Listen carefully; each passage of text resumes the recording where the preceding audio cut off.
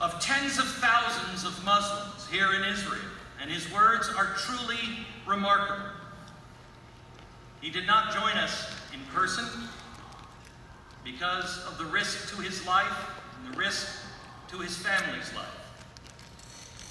So many people have come forward to stand today, some at very, the very peril of their own lives.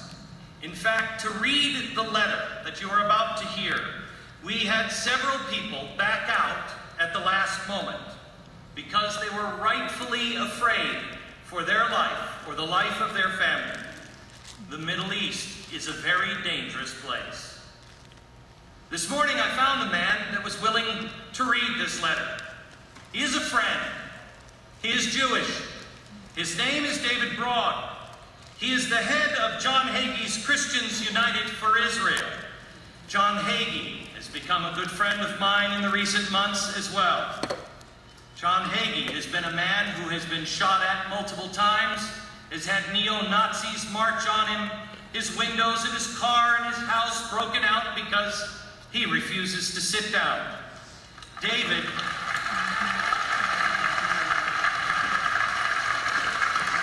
David is also a man who has been relentlessly criticized, even among his own people in his Jewish community, for his belief and his conviction and his willing, his willingness to stand with others.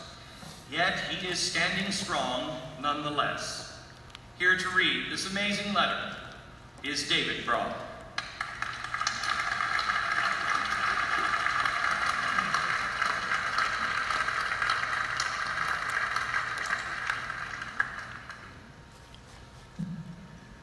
And may God bless you, Glenn Beck, for gathering us here in this holy city today at this critical hour. Thank you so much.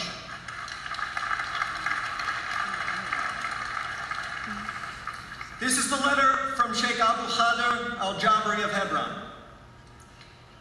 The Sheikh says as follows You are to be congratulated for arranging a rally such as this, consisting of Jews and Christians together, standing for Israel.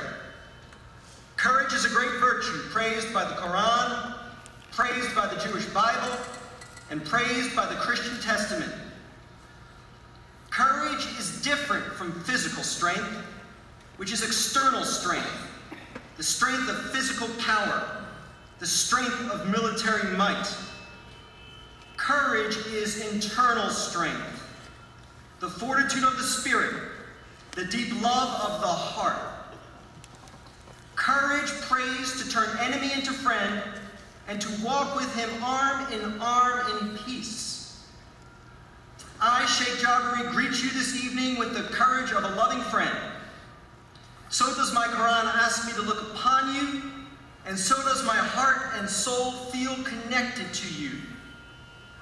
Jew and Muslim are both children of Abraham, and we are all children of one God. May we truly walk arm in arm in peace together and bring our united God, the God of the universe, to the entire world in peace.